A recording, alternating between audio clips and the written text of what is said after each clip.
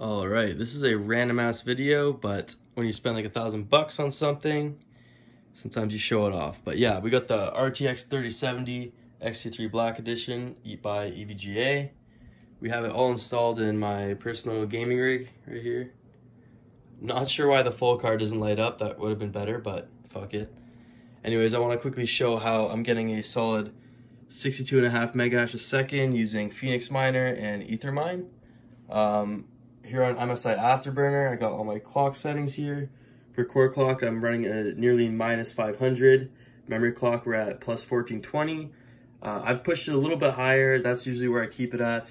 Uh, my power limit's 57%, which is uh, fetching around 125 watts. So very efficient. And my fan speed is just auto. So I leave this running throughout the nighttime. Obviously, I turn these fucking lights off, but I leave it running and it just does its thing.